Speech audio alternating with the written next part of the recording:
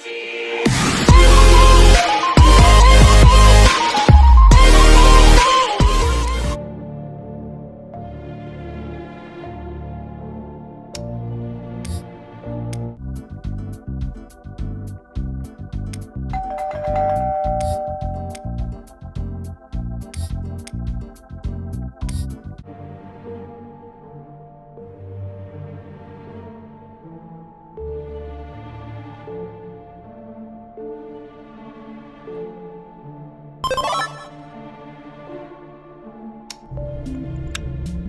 keep your eyes closed, nothing bad will happen to you.